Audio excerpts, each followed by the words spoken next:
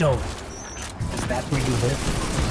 A pinnacle of hope for the remaining Eliksni, but a standing reminder of Eramis's betrayal of